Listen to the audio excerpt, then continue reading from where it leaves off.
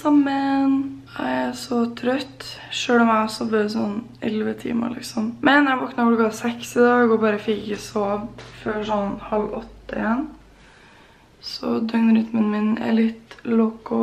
Tenkte kanskje å kjøre noe cardio, men det er så sykt vanskelig å få seg selv til å gjøre det.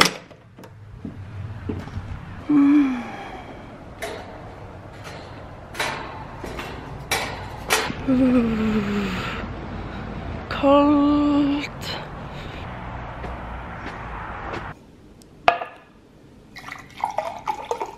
Her er da frokosten min. Knekkebrød med skinke, cottage cheese, salat og paprika. Og så har jeg vann her, litt kosttilskudd og mynte med melk. As per usual. Nå har vært så sulten. Jeg gleder meg sånn til å spise nå.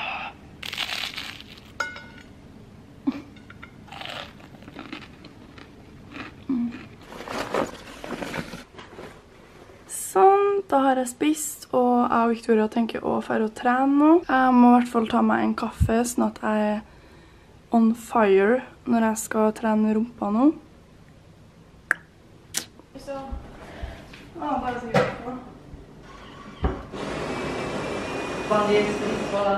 Risvoller. Du, der vil legge negler. Bra å sitte.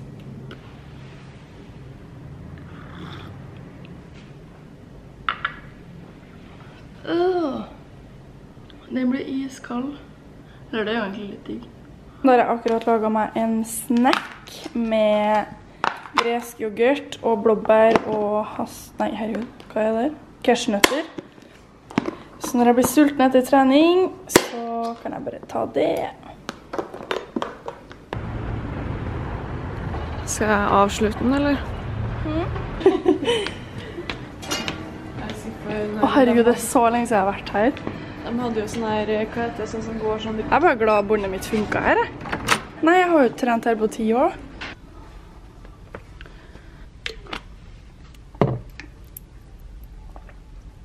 Her har vi fotoshoot. ok, men jeg husker ikke nøyaktig hvordan det var, da. Jeg må filme fra vinduet. Still feel Are you in or are you out? Var det sånn her?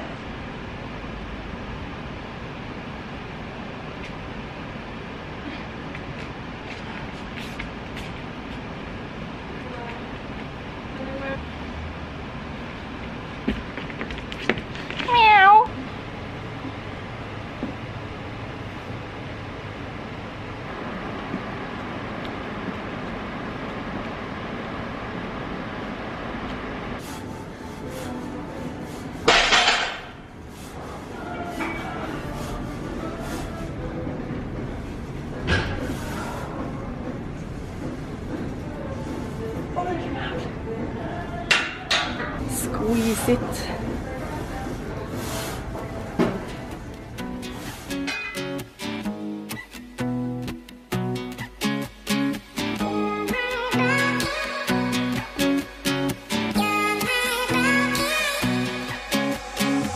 It's all the same, some things never change.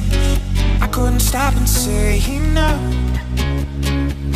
It's all the same, but you won't take blame,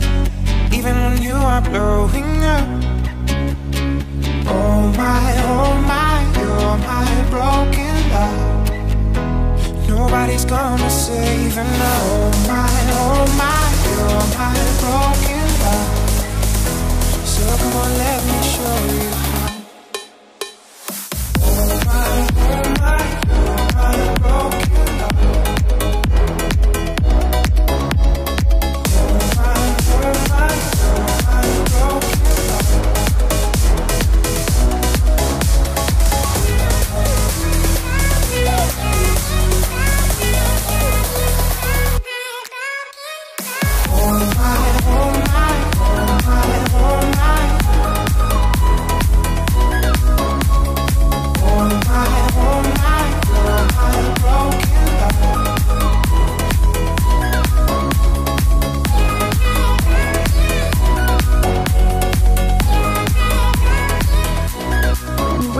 done.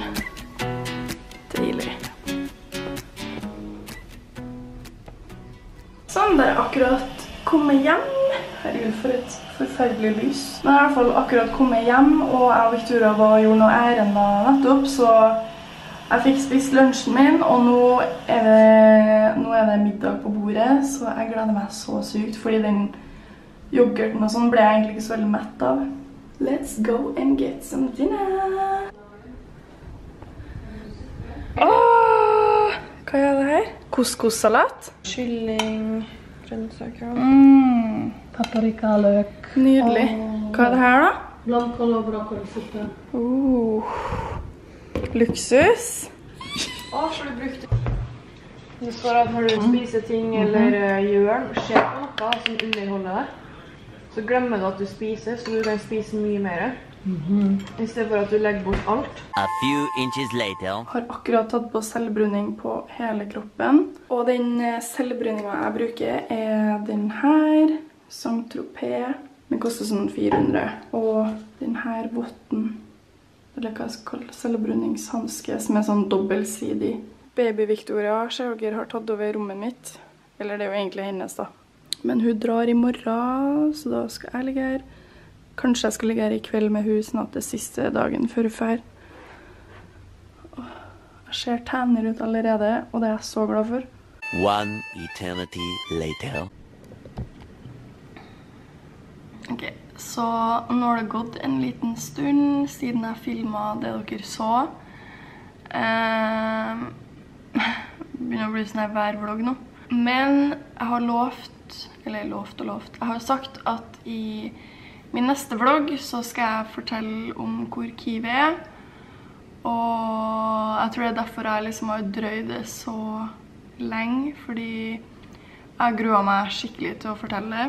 Jeg tenker at det er greit å bare liksom få det ut og bli ferdig med det på en måte. Så etter eh, sommer, eller mot høsten, så begynte Kiwi å bli veldig syk.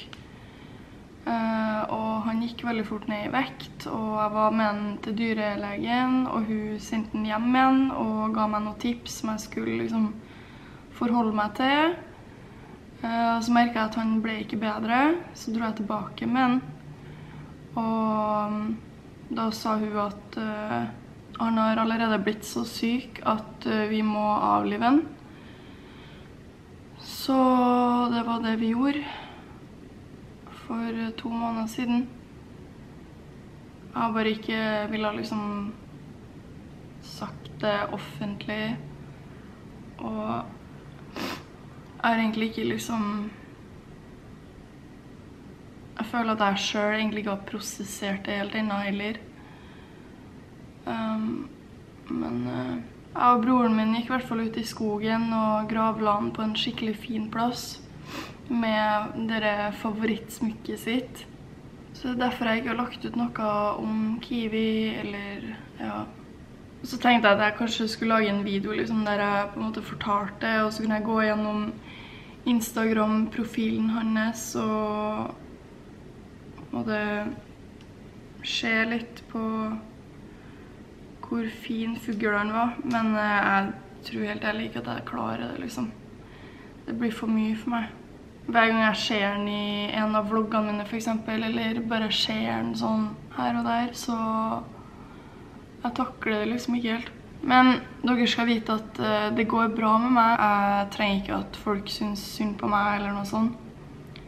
Jeg har jo venner og familie rundt meg som har snakka masse med om Kiwi. Jeg vet at det var veldig mange som var, ble på en måte glad i Kiwi gjennom Instagram og YouTube, og selv om de aldri møtte han engang, liksom. Prøve å trøste meg med at han levde kanskje ikke så lenge, men eh, det livet han levde, det var i hvert fall veldig bra. da. Han var jo fri hele tida og hadde gode foreldre som brydde seg om henne. Så jeg tror jeg bare avslutter vloggen her. Jeg har vært så treg med vloggen her, både bevisst og ubevisst, fordi det har vært så ekkelt å egentlig skulle ha sagt det her offentlig, men eh, jeg føler at liksom Som jeg sa, da, så er det en del som faktisk ble ganske glad i den, og sånn, så jeg føler dere i hvert fall fortjener et svar på hvor han er. Gjerne kommenter et hjerte under hvis du liksom var glad i Kiwi og kommer til å savne den. Så snakkes vi i min neste video. Skikkelig dårlig stemning her nå, men eh, ja. Det blir litt sånn av og til, men det går fint. Så vi snakkes.